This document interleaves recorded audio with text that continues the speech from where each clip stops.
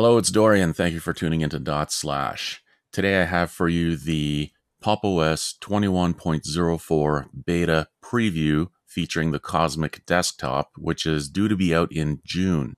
Now, this isn't a hack that I did to get the unstable repos activated and then updated to get the very latest unstable packages. The good folks at System 76 actually sent me this beta preview ISO so that I can actually test it out and install it.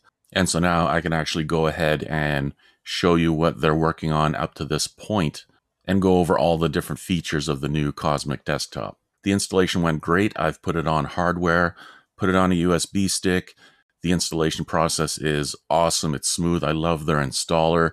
Part of the install option also gives you the option to encrypt your disk with a password, which means you will have to enter your password every time you boot up. I opted not to do it for this one. One thing I like about Pop! OS is on their website, when you click download, you're presented with two options. So the regular download link is for Intel and AMD graphics, and the second one comes bundled with the NVIDIA drivers already installed. So this is handy if you have NVIDIA graphics because you don't have to install the operating system and then mess around with trying to install the drivers. It's installed right off the bat and ready to go. So before getting into all the settings and the new features, I first want to just quickly show you the extensions here. This is how they create their desktop on top of GNOME 3.38.5, which will likely be a newer version once it's released in June. But if you're not aware, GNOME has a feature called extensions where you can modify the appearance and the behavior by adding in various extensions. And that's what they've done here. So they've added their own extensions in here that modify how GNOME works. So the great thing about Cosmic here is that they've listened to their customers. They've realized that a lot of people use docks, either dash to dock or dash to panel. So they've added this dock here at the bottom, which you can see and it's being fully integrated into the entire desktop experience here. Another thing I very much enjoy is their tiling feature.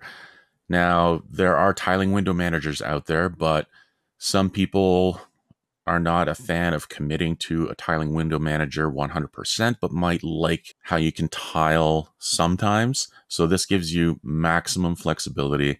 This is what Cosmic is all about. So, the tiling feature is pretty easy to use. You can just go here and turn it on or you can also toggle it with super key and the Y key. So now you can see the window is full screen, and if you open any other additional windows, it will stack them. And you'll notice here that there are gaps. This is similar to i3 gaps. If you click here, though, you can actually remove the gaps or make them larger. So again, you're given the option to have it or not have it. It's up to you.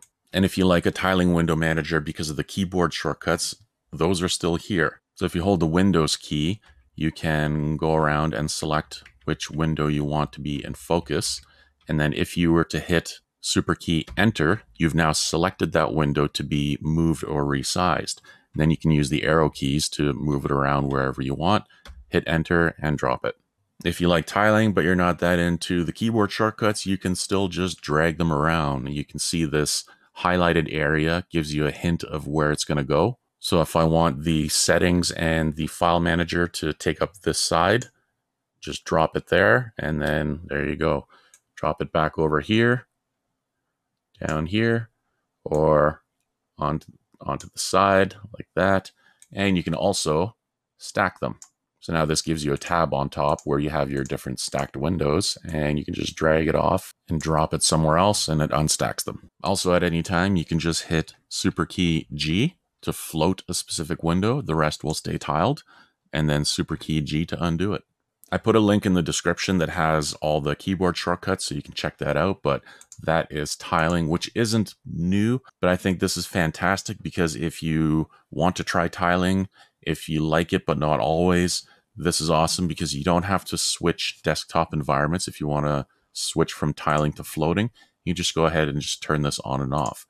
Now, another thing you'll notice is the dock takes up a lot of room here. So the idea of having a tiling window manager is to maximize your screen space, your real estate. But the dock has an option to hide or auto hide, and I'll go over that in the settings now. So in the GNOME settings, if you scroll up, there is a desktop section. These are all new settings for Cosmic. First one being background, and they've got some nice backgrounds. I'm not going to go over every single one, but they've got some cool ones, a lot of sci fi ones. But let's move on to desktop. So here we define what the super key does. Right now it is launcher. This is a new launcher. So I'll show you here. I hit super and this pops up. Normally with GNOME, you get the full screen application.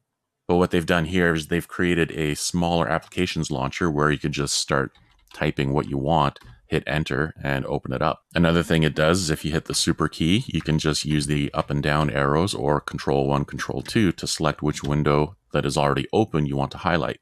The next setting you can do with the super key is to open workspaces. Workspaces are like multiple virtual desktops if you're not aware. You can also hit the workspaces area in the top left here on the top bar, or down on the dock, show workspaces does the same thing. But if you have this set, then your super key will open this as well. I'll go over workspaces a little more when I get to those settings, but they're pretty easy to manage, drag and drop. There's also keyboard shortcuts, which I will again go over. And then the last setting for that is applications, which is the classic GNOME applications menu, full screen. You can type in here as well, but I really do like the new mini launcher. So then we have hot corners. You can see they're all marked to do. As they told me when they sent me the ISO, it's not fully complete yet. Like it's not due to be released in June. So there are some things that they're still working on. There might be a few glitches, but I haven't encountered any yet. But basically, you can open either workspaces or applications by just putting the mouse up in the top left corner. Next, you have options for the top bar. So you have the Show Workspaces button and Applications button. These are these two right here. So Workspaces, Applications, these are the same as on the dock. Workspaces, Applications. So if you don't want both, you can just turn these off and then use the ones on the dock or the keyboard shortcuts. But if you want to leave them there, you can also get rid of these on the dock, which I'll get to later. The date and time at the top here, you can move it to the right or left or leave it centered. And you can select to show this top bar only on the primary or on all displays if you have multiple monitors. I only have one, so I can't test that out, but I see here it says to do, so perhaps this is still being worked on. The next section here is the window controls. So I like this because normally I would install GNOME tweaks so that you can turn off showing the minimize button or showing the maximize button. So I like that this is just included in the settings right off the bat. Appearance is something very common in all operating systems now is to have a light and dark theme. And then we have the dock settings. This is the dock at the bottom here. Now, if you're using it in tiling window mode, you might want to just turn this off so that you don't see it at all and you can maximize your screen's real estate. I will, however, leave it on. And then the next option, very much like the top bar, is to show the dock on your primary display or all displays. You can also set it to automatically hide the dock. So it will normally show it unless you have a full screen window and then it'll hide it. And then you can just bring your mouse down for it to pop up and open something else. And as soon as you don't have any full screen windows, it will show up again. I'll turn that off and extend dock to the edges of the screen. If you turn this off, it turns it into a little floating dock, which looks very nice. And then these next settings are what I was talking about earlier, how you can hide these. The launcher, show workspaces, show applications. Now they're all marked to do, so this will be something coming in the future. So you can get rid of these if you want to and just use the two up here or just stick to only keyboard shortcuts. Dock size is something very nice also to be included. So this might be a little large for some. You can go ahead and shrink it down. If you have a high resolution screen, you can just make it large. Or if the small isn't small enough, you can go to custom and you could shrink it down even more. I'll just leave it at medium. And then the next setting is the position. So you want it on the bottom, left, right just like most docks, which is again very handy to have all these settings in one spot. Next section is workspaces, which is also very nice to have all in this one little area here. Now the default is dynamic workspaces, which means when you put something in the next workspace, it will create an additional empty one. And then when you take something away from that one, it will get rid of the empty one or I should say the second empty one. So you always have one empty one to put something in and it will create and remove them as required. To me, this is the best setting, but if you, for some reason, want to have a fixed amount of workspaces, you could do that as well. And multi-monitor behavior is all showing to do, so can't go over this. Same with the placement of the workspace picker. It looks like they're planning on making it an option where you want it to be on the screen instead of just on the left. So that'll be nice. So now speaking of workspaces, if you're not aware, you can also do everything by keyboard. So if you want to switch workspaces, you just do Control Super down and it brings you down to the next workspace. Control Super up brings you back. And if I want to move a window into the next workspace, I can just do Shift Super down. And now I've moved into the next workspace, as you can see. And I brought the terminal with me, the highlighted application. I brought it with me to the next workspace. So I can do that here as well. I want to move this down, so shift super down. Now I'm in the second workspace, shift super down. Now I'm in a third workspace. You don't have to use the mouse here. I'm just showing you where all the different windows have moved. So I can go ahead and move this back to the first one, go back down here, move this back up there. Pretty easy, pretty flexible. You can also do this in the tiling mode. So with all these options, you have this flexible dock, the tiling, the workspaces using the mouse or the keyboard.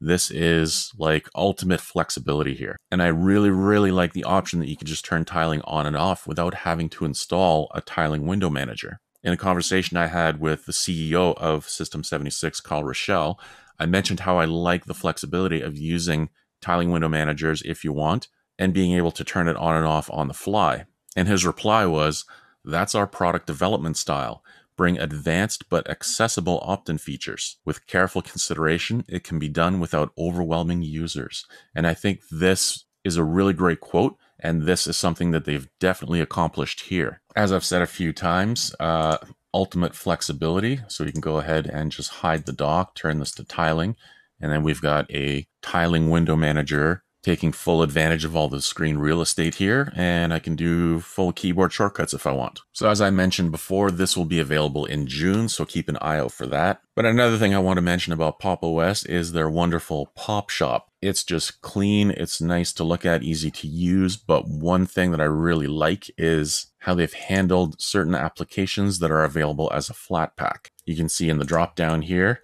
you have the option to install Steam, for example, as a Flatpak or as a deb file. Typically, in other package managers, you'll have an application show up twice in the listings. So, one is the regular install, one is the Flatpak install. But what they've done is they've gone ahead and given you the option within a single listing which really cleans it up nice. So there are several other features that are going to finish up here once it's released in June. I'm really looking forward to seeing the final product.